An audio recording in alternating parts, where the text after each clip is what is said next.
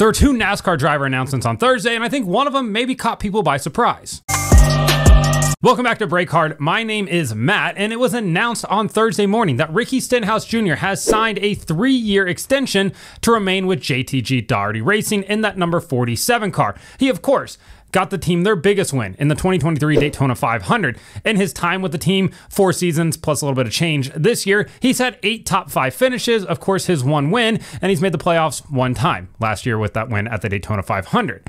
But I think this announcement maybe caught people by surprise a little bit because just over a week ago, Adam Stern from the Sports Business Journal reported that co owners of JTG Daugherty Racing Jodi and Tad Geschickter, the J and the T portion of that acronym, were looking to potentially go somewhere else.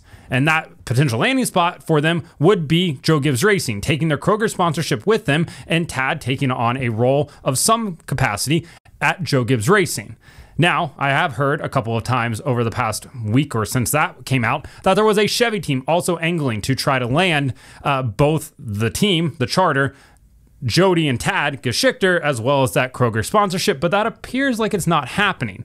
And if you read the press release that the team put out, that's kind of the most telling point out of this because the quotes that they had from the ownership group of the 47 team were from Gordon Smith, a co owner in the team, and Brad Daugherty, another co owner in the team. There was no quote from Jodi or Tad Geschickter and no mention of Kroger anywhere in that press release. So if you want to put on your Sherlock Holmes hat here, you can do a little bit of sleuthing and a little bit of detective work, connect the dots if you will, and you can kind of come to the conclusion that the Geschickters are likely out of the 47 team at the end of the year, likely taking their Kroger sponsorship with them, not likely, almost definitely taking their Kroger sponsorship with them and going over to Joe Gibbs Racing or whatever other team they will likely land at. Gibbs apparently is currently the uh, front runner in the clubhouse, the leader in the clubhouse for their sponsorship and services. So, where does that lead the 47 team at? Well, it looks like Gordon Smith and Brad Daugherty, at least based on what we saw in that press release, will continue to be the co owners of the team.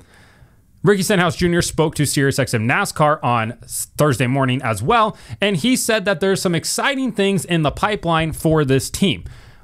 Is that him just having, you know, corporate speak and just wanting to be optimistic about the future of this team and hoping that he can will it to victory? Again, potentially. Could it also mean that there's a possible partnership, alliance, merger coming up for the 47 team going into 2025? Also, possibly on the table. We know there are multiple teams looking for charters. Multiple teams would like to add another car.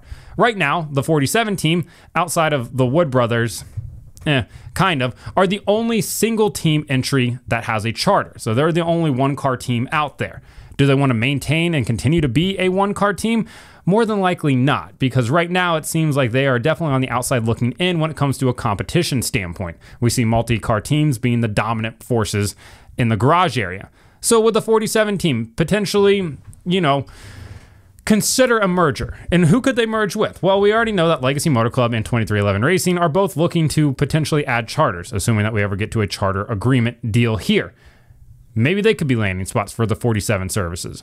That would allow them to bring a third car in with an established driver, an established team already. Obviously, have to change to Toyota uh, bodies, Toyota engines, everything like that. But that would allow them to start up that third team and kind of, you know, hit the ground running before they make a driver change at some point in the future, if they wanted to. I'm not saying Ricky's going to get out of a ride. Obviously, this is all purely speculation, just doing some some free thinking here, if you will. But it does seem like there might be some things in play for the 47 car going into 2025. And if they maintain and, you know, remain a one car team, that would make sense as well. But looking at their current ownership group, assuming that, you know, the Geschickters are selling that charter or their portion of the equity in that charter to Gordon Smith and Brad Daugherty, and those two are going to maintain control of the team, you know, there's some possibility, some movement there that could happen. And for the Geschickters, if they move over to Joe Gibbs Racing, they're taking a massive sponsor with them, a Fortune 100 sponsor, over to Joe Gibbs Racing for one of those cars over there. And that is a massive get for that team. So we'll have to wait and see what happens with the 47 car. For right now, all we know is that Ricky Stenhouse Jr. does have a three year extension starting in 2025, obviously through the end of the 2027 season. So we'll have to wait and see how all of that plays out. And just find it a little curious that the Geschickters were not involved in that press release whatsoever. Before we get to the next driver announcement, real quick, good news. For everybody that asked, where can I buy the Support Your Local Short Track t shirt? It is now live at brakehard.store. You can also get the link in the description below. There's a couple of other t shirts up there as well. They're all printed on demand. They're printed on comfort colors, so they're a little bit heavier than your typical like Gildan or, you know, Bella Canvas t shirt. Great quality here as well. So take a look at the shop if you get a chance. Moving on to the other driver announcement on Thursday, that came from Junior Motorsports. Dale Jr. once again has another announcement for that number 88 Xfinity car, and they got everybody all hyped up on Wednesday night when they said this driver has made a start for JRM in the Cars Tour, and they will become the 10th driver to also make a start for JRM in the Xfinity Series. And that part right there, uh, that portion of the tweet had me really questioning the reading comprehension of a lot of NASCAR fans because they were immediately like, "It's going to be Kasey Kahne." What? Why, when did ever? When did Kasey Kahne make a Cars Tour start for Dale Jr. and he's already made starts for Dale Jr. in the Xfinity series, so that made no sense whatsoever. We also people say Corey Day. Uh, I think Corey Day is a massive talent. I'll have a video out about him in the very near future but again, he hasn't made a Cars Tour start for Dale Jr., so why would it be him? Saw people mention Jamie McMurray. Again, somebody has already made a start. Josh Berry was a name that was listed. Why would Josh Berry be the 10th driver to make a start for JRM? He's already done that. Oh man, the people in the comments really had me questioning my sanity and the sanity of this fan base at times. But no, it was nobody that anyone guessed. Instead, it will be Connor Mosack, who has never found a ride that he could not buy We'll be in that 88 car for two races this summer. Once for the Chicago Street Race and another time at the at Watkins Glen. No, not Watkins Glen. At the Roval. Watkins Glen goes to Connor Zilisch. Sorry. Mosack will be in the car at Chicago as well as the Roval.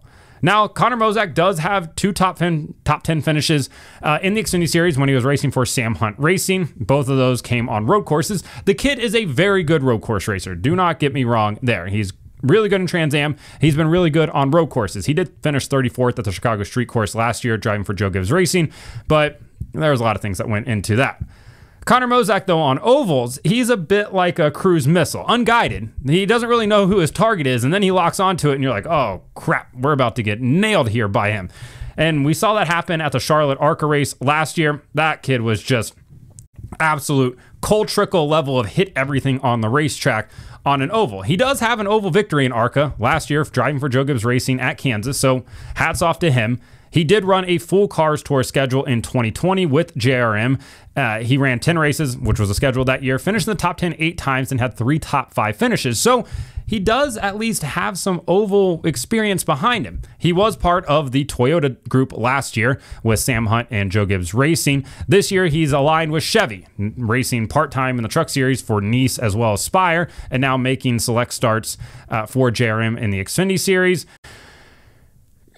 Connor Mosack is not a what we would consider a blue chip prospect. He's not a five star recruit. He's not a four star recruit. On road courses, he might be a four star. On ovals, he's about a two, maybe a three star at best if you're looking at 247 sports or something along those lines. So for Connor Mosack to get this opportunity, that's massive. And on a road course, it's even better because JRM is going to bring a great road course car for him. Like I said, he's a very stout road course racer.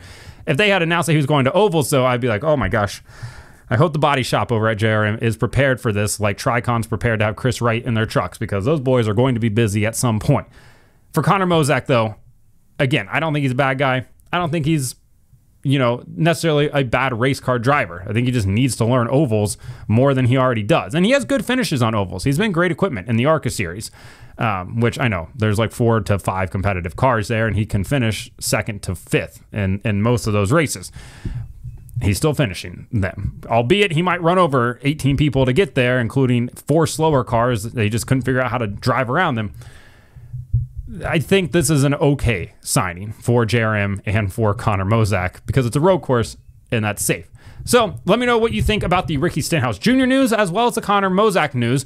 Like and subscribe to the channel. Follow me on TikTok at BrakeHard, Instagram and Twitter at BrakeHard Blog.